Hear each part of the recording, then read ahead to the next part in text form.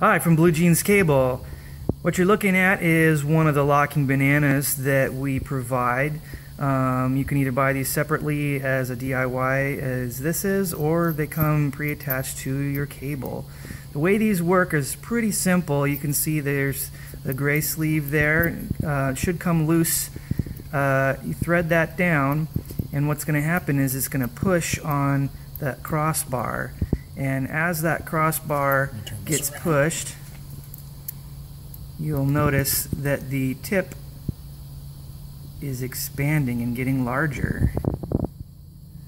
That's the locking mechanism. So what you want to do is you want it to be loose when you insert it into your post on your amp or your speaker and then you're going to tighten that down and the tip expanding inside the post will lock it into place.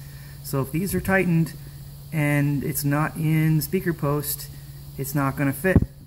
So that's maybe an issue if you're running into. Anyways, if you have any questions, we've got sales at bluejeanscable.com or 206-284-2924 during regular business hours. Thanks for watching.